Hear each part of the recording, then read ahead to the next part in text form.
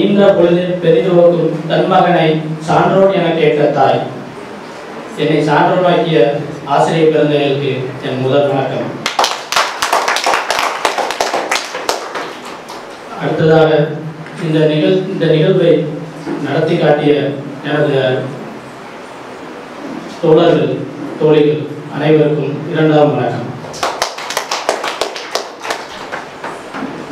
ஒரே ஒரு கவிதையோட முடிச்சலாம்னு நினைக்கிறேன் தரையில் விழுந்து கைகால் உதைத்து அழுது புலம்பி கண்ணீர் தரும்ப அம்மாவின் முந்தானையை பிடித்துக்கொண்டு போக திரும்பாமல் அளம்பிடித்தும் பிரித்து அழைத்துச் சென்று அமர வைத்த இடம் முதலாம் வகுப்பறை. புரியாத எழுத்து தெரியாத முகம் அறியாத இடம் என புதிய உலகில் தனிமையில் இருப்பது போல ஒரு சோகம். அழுவது நான் மட்டுமே என்று எண்ணி அண்ணாந்து பார்த்தேன். அங்கே அழுதது நான் மட்டுமல்ல. என் வருங்கால நண்பர்களும் தான் அழுகையில் தொடங்கியது எங்களின் முதல் நட்பு. தனிமையில் இருந்த புதிய உலகில் நட்பை கொண்டு உறவென்று அமைத்தோம். வேப்ப மரத்து நிழலில் மதிய உணவு இடைவேளை. கரத்தால் பகிரப்பட்ட உணவு மனதால் பகிரப்பட்ட அன்பு.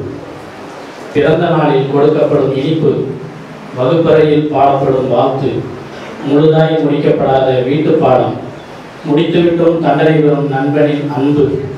பள்ளி முடிந்தவுடன் அடிக்கப்படும் மணியின் சத்தம் காலாண்டு அரையாண்டு பருவ விடுமுறை என அரங்கேறாத இனிய நிகழ்வுகளே இல்லை அப்பருவத்தில்.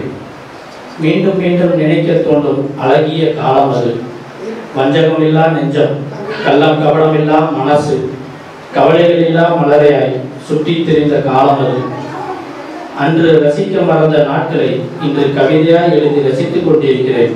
நட்சத்திரங்களை எண்ணி முடிப்பதற்குள் விடிந்துவிட்ட வானம் போல வாழ்ந்து முடிப்பதற்குள் முடிந்துவிட்டது பள்ளி பருவம் முதுமையை எட்டினாலும் நாம் மீண்டும் போக விரும்பும் பருவம் பள்ளி பருவம் மட்டுமே.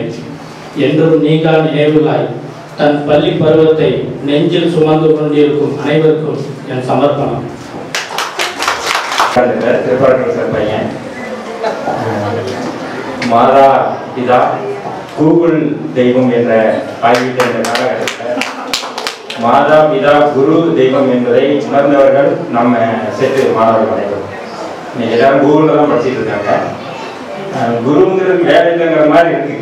எல்லாரும் என்ன டவுட்னாலும் அங்கேயே கேட்குறாங்க அங்கேயே பதில் இருந்தது இருந்த போதிலும் நம்ம படித்த காலத்தில் ஆசிரியர்கள் நமக்காக செய்த அந்த பணியெல்லாம் நினைக்கும் பொழுது நான் ஆசிரியர் ஆனதுக்கு அப்புறம் தான் எனக்கு தெரியுது இந்த பணியில் எவ்வளவு சிரமங்கள் இருக்கு அப்படிங்கிறது. நானே நினைச்சிருந்து ஆசிரியர் பணி ரொம்ப எளிமையானது தானே அப்படின்னு. அன்னைக்கு சங்கரகுரு சார் ஒரு சாப்பிஸ் ஒரு வட்டம் போட்டு வட்டத்தை நிப்பாட்டி அடிப்பாங்க. வட்டத்தை விட்டு வெளியே போனா அங்க அடி ரொம்ப வரும் அது நம்ம இன்ஜினியர் தலையுமா தெரியும் நினைக்கிறேன் எங்க கிளாஸ்ல இருக்கு அந்த அடி வாங்கும்போது எனக்கு ஒரு சிரமமா தான் இருக்கும். ஆனா அந்த நான் இன்னைக்கு மாணவர்கள் அதே மாதிரி அடிக்கிறேன்.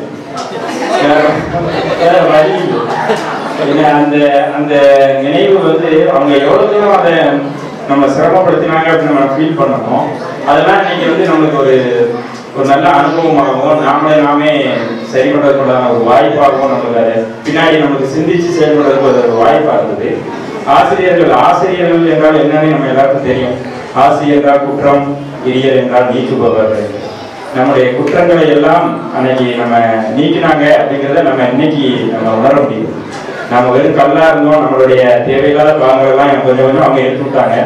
அப்புறம் நாம எடுக்கிறதுக்கு நம்ம சிந்திக்கிற அளவுக்கு நம்ம வந்து நம்ம தயார் பண்ணி விட்டாங்க. நம்ம அந்த கொஞ்சம் வளர்ந்த பிறகு நம்ம நம்ம சிந்திச்சு சரியான முறையில் நம்ம செதுக்கி கொண்டு நம்ம நாகூர் மாதிரி எல்லாத்தையும் கூட ஓரளவுக்கு செதுக்கி இருக்கோம்னு நினைக்கிறேன். செதுக்கி நாம இன்னைக்கு ஒரு ஒரு சமுதாயத்தில் ஒரு நல்ல ஒரு மதிப்புள்ள ஒரு மனிதராக நாம் இன்னைக்கு வாழ்வதற்கு நமக்கு பெரிதும் உதவியாக இருந்த நமது ஆசிரியர் பெருமக்கள் அனைவரையும் இந்த நேரத்தில் நான் நன்றியோடு நினைவு கூர்ந்து என் உரையை நிறைவு செய்கிறேன். நன்றி வணக்கம்.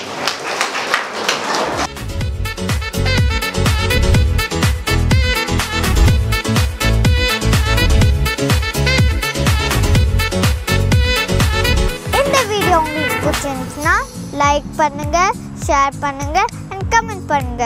மேலும் எல்லா தமிழ் சேனலுக்கு சப்ஸ்கிரைப் பண்ணுங்கள்